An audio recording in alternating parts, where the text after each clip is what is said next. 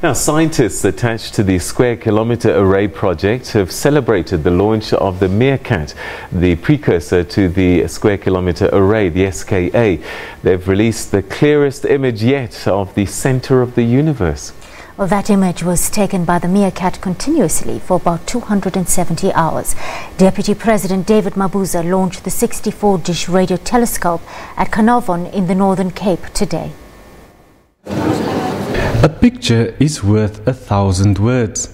This picture, the clearest of the center of the universe, tells the tale of a thousand years and billions of light years away.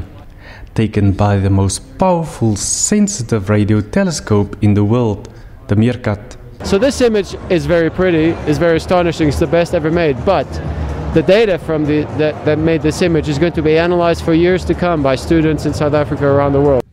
The Meerkat costs 3.2 billion rands. It puts South Africa at the forefront of science. Government says it's ready for the next phase, the construction of the SKA.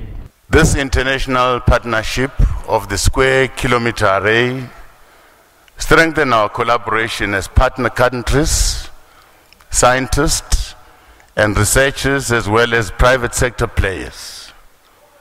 This collaborative work will unlock the full potential of our research and development that responds to the challenges and opportunities of the 21st century.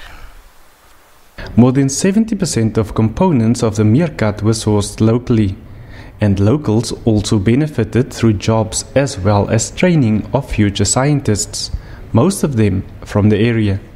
The Meerkat and eventually the SKA will illuminate the darkest corners of the universe and is expected to answer questions that have been plaguing scientists for decades, like what exactly happened during the Big Bang? Is Einstein's theory of relativity accurate? And the big one, are we really alone in the universe? Ulrich Hendricks, SABC News, Carnarvon, Northern